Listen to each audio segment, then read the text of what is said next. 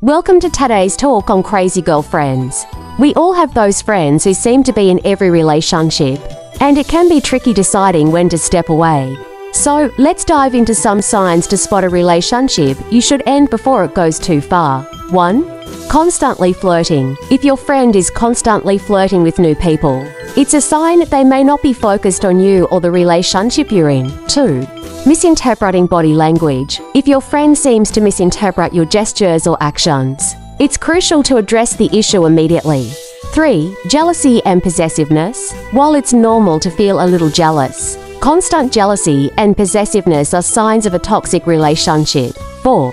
Unrealistic expectations. Setting unrealistic expectations for the relationship can lead to disappointment and dissatisfaction. 5.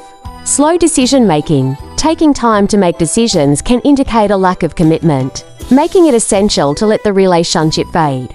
Remember, it's always better to stay single than in a toxic relationship. Surround yourself with supportive friends and prioritize your well being. Thanks for tuning in, and happy dating!